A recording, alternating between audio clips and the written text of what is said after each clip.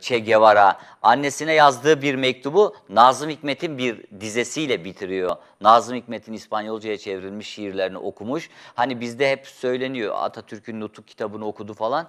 Aslında o kaynaklarda tanıyordur belki Atatürk'ü ama İspanyol kaynaklarında, Latin Amerika kaynaklarında öyle bir şeye rastlanmadı ama Nazım Hikmet'e hayranlığını e, biliyorum ve annesine yazdığı mektupta yalnız yarım kalmış bir şarkının acısını toprağa götüreceğim diyor. Nazım Hikmet'in dizeleriyle annesine yazdığı mektubu noktalıyor e, Che Guevara. Aslında Jose Martin'i de çok seviyor. Onu da çok e, önemli buluyor ve Jose Martin'in de şiirlerini Türkçe'ye ilk çeviren isim Atol Behramoğlu. Ee, Arzu Kılıçsen diyor ki Akhisar'dan selam ve sevgiler. Che Guevara, Metin Oktay, Aziz Nesin hakkında bilmediklerimizi açıkladınız. Teşekkürler. Programa katılan konuklar sağ olsunlar, var olsunlar diyor. Biz Arzu Hanım'a teşekkür ediyoruz.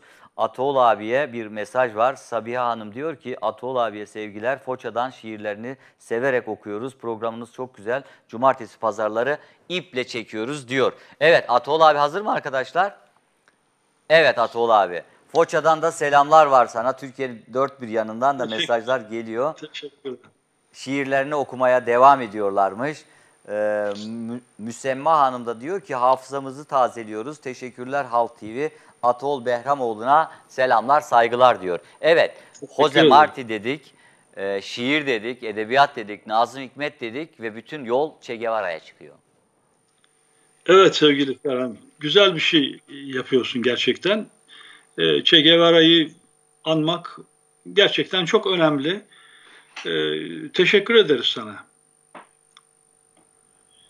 Yani dünyanın tanıdığı, bildiği bir ikon do- doğum günü aracılığıyla onu biraz daha anlatmak, Türkiye'deki insanlara, ya bizi izleyen, ekran başında bizi izleyen sevgili Halk TV izleyicilerine biraz anlatmak istedim. Ama işte hep edebiyattan, tarihten, felsefeden beslenen birisi var. Çok yufka yürekli, hep acı çekenlerin yanına gitmiş. İşte Margaret Randall'ın kitabında da aklımdaki Ç'de o kadar güzel anlatıyor ki hep mazlumların yanına giderek onların dertlerine ortak olmuş bir Che Guevara var. Zaten 39 yaşında hayatını kaybediyor. Öldürüyorlar kendisini Bolivya'da pusuya düşürüp. Tabii sonra o küçük okulda e, La Higuera'daki o okulda hayatını sonlandırıyorlar. E, işte böyle dünyadan bir Che Guevara geçti ama edebiyattan, sanattan, felsefeden e, beslenen birisi. Şiir dedik, Jo- Jose Marti dedik ve Jose Marti'yi de Türkiye'de ilk çeviren e, yazar var karşımızda, şair var, Atol abi var. Biraz anlatabilir tabii ikisini de. Evet, evet.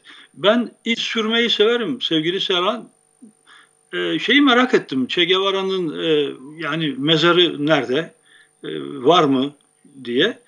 E, ölümünden çok çok yıllar sonra bir toplu mezarda e, yoldaşlarıyla beraber altı kişiler sanıyorum e, bir şekilde bazı ipuçlarından bulunmuş. E, ve e, bir Küba kentinde yani mezarı var Che Guevara'nın. Onu merak etmiştim. Yani Bolivya'da aslında e, okuyarak. Vaya Grande'de, Vaya Grande yakınlarındaki o köyde, e, La Higuera köyünde öldürüyorlar. Evet. Sonra Vaya Grande'de bir havaalanı e, bölgesine gömüyorlar altı arkadaşıyla. İşte 18 Evet. arkadaş ama 12'si Evet, ama kaçıyor. çok yıllar sonra bu bulunmuş. Ha, 97'de de Küba e, alıyor e, Evet, cesedini. Evet. Evet. Evet. Şimdi şöyle yani kısaca e, söz edelim. Jose Marti Küba Ulusal Kurtuluş Savaşı'nın kahramanı, savaşçı ve şair diye onu ben nitelerim ve öyle bir özel sayı yapmıştık. 1970'li yıllarda Militan dergisinin bir özel sayısıdır ve onun şiirlerini ben çevirdim de. Ben İspanyolca bilmiyorum ama İspanyolca asıllarıyla karşılaştırarak birkaç başka yabancı dilden çevirdim Jose Marti'yi ve birçok kez de o kitap basılmıştır. Ee, söylemek isterim burada onu. Ee, şeye gelince yani Güney Amerika ile bağlantım senin de çok yakın ilişkilerin var. Biliyorum şeye gittin e, Şili'ye gittin Pablo Neruda'nın evini gördün okyanus kenarındaki Istanegra'ya değil mi? Istanegra'ya gittin filan. Ben ama Neruda'nın kendisiyle karşılaştım biliyorsun. Paris'te tanıştık onunla yine 70 başlarında filan. Şey gelince Che Guevara konusuna ölümünün hemen ertesinde yazdığım bir şiir vardır. Ee, onu yani ne zaman istersen okurum ama ondan önce çok sevgili arkadaşım Metin Demirtaş'ın şiirinden söz etmek isterim. Metin Demirtaş che Guevara ile ilgili şiiri nedeniyle bir zaman bir süre gözaltında tutuklu olarak da kaldı. 1960'lı yıllarda e, ölümünden sonra yazdığı bir şiirdir onun da. Oradan birkaç dizi okumak isterim.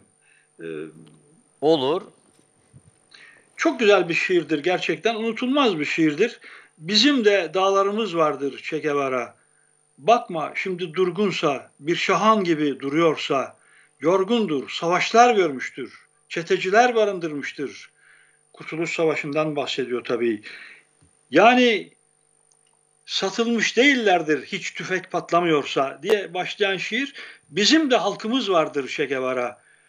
Unutulmuş uzak tarlalar yalnızlığında sazıyla, türküleriyle kardeşliğe vurgun, bütün ulusların halkları gibi ve yalnız büyük fırtınalarla kımıldayan bizim de halkımız vardır Che Guevara. Sevgili Metin Demirtaş'ı kardeşimi e, böylece anmış olmak isterim, anmak isterim. Güzel. Kaç yıl oldu bilmiyorum. 3 yıl mı 5 yıl mı zaman böyle hızla geçip gidiyor. Onu kaybettik. E, bizim kuşağımızın en değerli şairleri arasındadır hiç kuşkusuz. E, benim şiire gelince işte 1967 yılında ölümünün hemen ertesinde yazdığım şiirdir. Bu şiirle ilgili bir anımı anlatmak isterim Serhan. Tabii. E, Medlin'de, Medlin biliyorsun Kolombiya'nın e, bir kenti ve uluslararası şiir festivali, dünyanın en büyük şiir festivali orada yapılır ve açılış e, bir açık havada e, gerçekleştirilir. Binlerce izleyici vardır. Konuk şair kendi şiirini ana dilinde okur, sonra İspanyolcası okunur. Ben orada ilk gittiğimde e, sanıyorum ki 2011'di, 2011'di. Birkaç kez gittim çünkü Medine daha sonra da. 2011'de okuduğum şiirlerden biri de e, bu şimdi okuyacağım Che Guevara. Onun türküsünü Guevara'nın adlı şiirdi. Türkçesini okudum. Tabii alkışlandı. İspanyolcası okunmaya başlandı. İlk dizelerden hemen sonra ön sıralardan Komando Che Guevara mırıldanmaya başlandı. Giderek o mırıltı çoğaldı ve bütün şeye yayıldı. Bütün stadyum büyüklüğünde bir alana yayıldı ve bunu asla unutamam. Mutlaka kaydedildi. Yani o kayıtlarda vardır. Hayatımın hiç unutamayacağım en büyük onurlarından biridir. Bu şiir okunurken Medlin'de Komandonto Che Guevara'yı binlerce kişi söylediler. Şimdi şiiri okuyorum. Onun türküsünü Guevara'nın. Dağların ve nehirlerin türküsünü söylemek istiyorum. Büyük gökyüzünün ve kırların, mavi bir çiçeğin türküsünü söylemek istiyorum. Umudun ve sevdanın, kahraman bir yüreğin türküsünü söylemek istiyorum. Aslan türküsünü, Gevara'nın. Odalar ve sofalar kuşatmış beni. Sandalyeler, masalar, tabaklar, gökyüzü kuşatmış beni, içim daralıyor. Gelenekler, korkular, kuşkular kuşatmış beni. Rotatifler, silahlar, yasalar. Ah, akşam oluyor.'' Sevgilim, aşkım benim. İniyor dağlara örtüsü gecenin. Bir çocuk durmadan büyük nehirleri özlüyor, kaybolmuş sevinçleri özlüyor. Bu yürek durmadan geçiyor dağlardan gölgesi çetelerin. Körlerin ve yetimlerin türküsünü söylemek istiyorum. Yavrusu ölmüş ananın. Hastaların türküsünü söylemek istiyorum hapiste yalnız bir adamın, sevgili bir yüreğin türküsünü söylemek istiyorum. Kardeşimin, Gevara'nın. Ah, nasıl da acı. Böyle susup durmak, kötüler, cellatlar elinde bunalırken güzelim halk, fabrikalar yanlış çalışırken, yanlış ekilirken toprak, ayak olmuşken baş, baş olmuşken ayak. Kavganın ve hürriyetin türküsünü söylemek istiyorum. Gür bir akışla akacak kanın, eşitliğin türküsünü söylemek istiyorum. Halklar adına yükselen sancağın, sadeliğin, inceliğin, onurun türküsünü söylemek istiyorum. Onun türküsünü, Gevara'nın. Ağzına sağlık Atol abi. Şahaneydi. Şiir e, çemberi kapatır ve sonsuz çemberler de açar değil mi Atol abi? Peki. Şimdi. Che Guevara çocukluğundan beri hep şiire meraklı zaten. Okuduğu kitaplar işte Pindar'ı okuyor, Akillos'u okuyor, Sofokles'i, Platon'u, Dante'yi, Goethe'yi, Cervantes'i, Shakespeare'i, Walt Whitman'ı, Antonio Macado'yu, Federico Garcia Lorca'yı, Leon Felipe'yi, Pablo Neruda'yı, Cesar Vallejo'yu, Ruben Martinez'i, Nicolas Gullien'i hepsini okuyor ve Hilda Gadea'ya karısına hani o Perulu iktisatçı devrimci kız var ya ona aşık oluyor ve önce onu ikna edemiyor zaten. Çok burnu havada birisiydi diyor. Uzun boyluydu. Ben hiç ilgi göstermedim ama sonra tanıdıkça onun nasıl içinde bir çocuk barındırdığını gördüm diyor. Aslında Che Guevara'yı Amerika CIA takip ettiriyor e, Atol abi Evet, ve e. Pentagon'a bilgi gönderiyor. CIA uzaktan onun çadırını takip ediyor.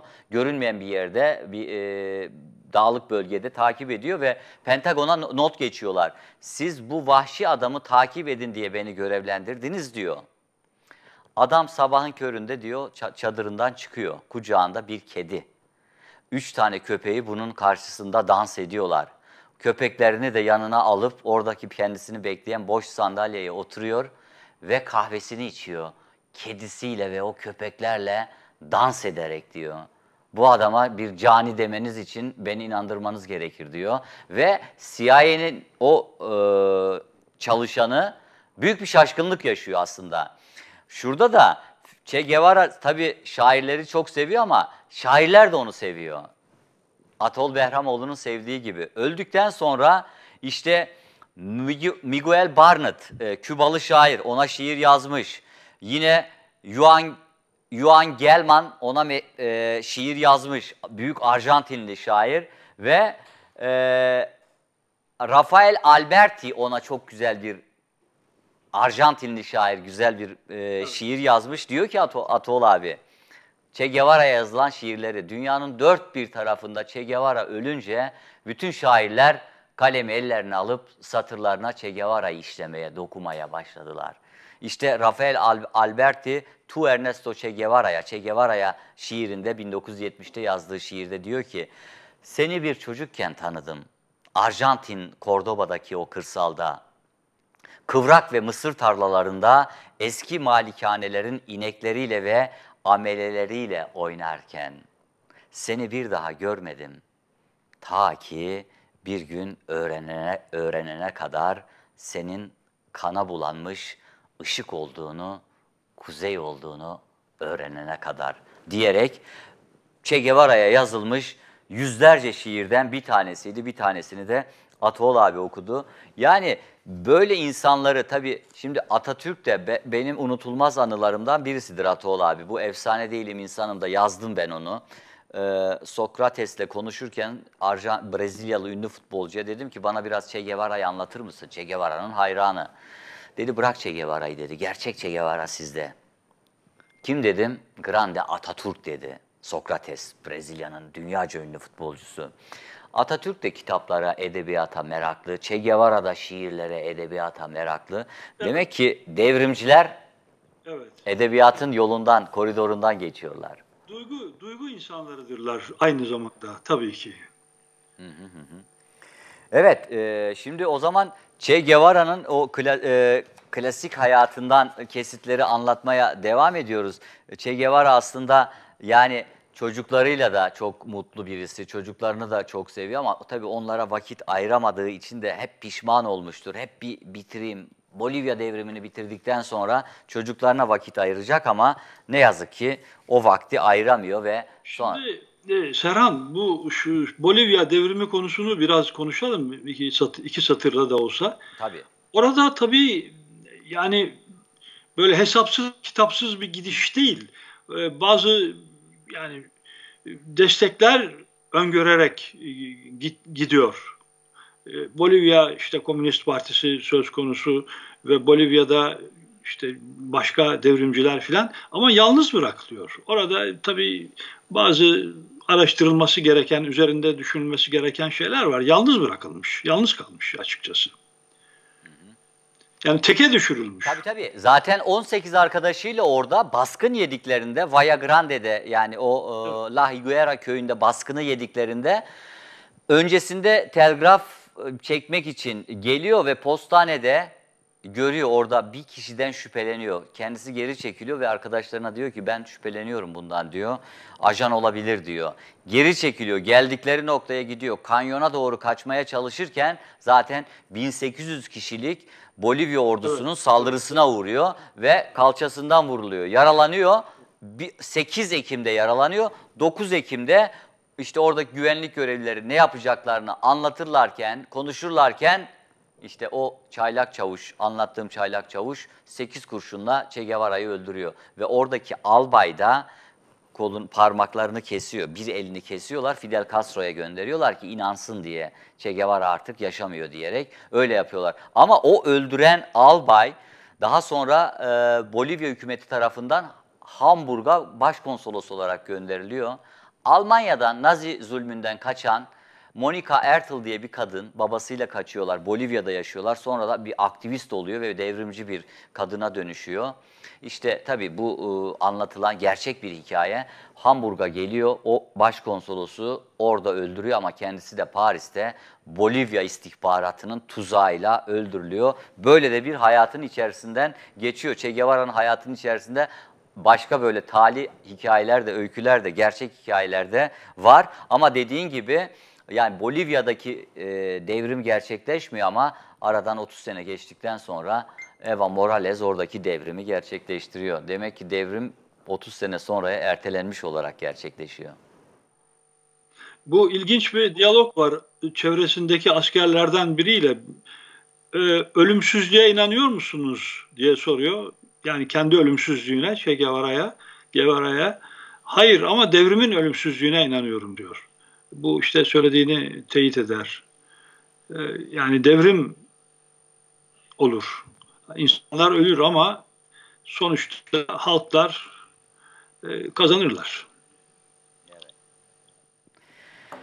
Atol abi çok teşekkür ediyorum. Ee, Che Guevara'yı seninle konuşmak güzeldi. Bir şairle, yazdığın şiirle konuşmak teşekkür çok ederim. güzeldi. Ben de duygulandım, tekrar düşünmüş oldum. Gerçekten teşekkür ederim Serhan, sağ ol.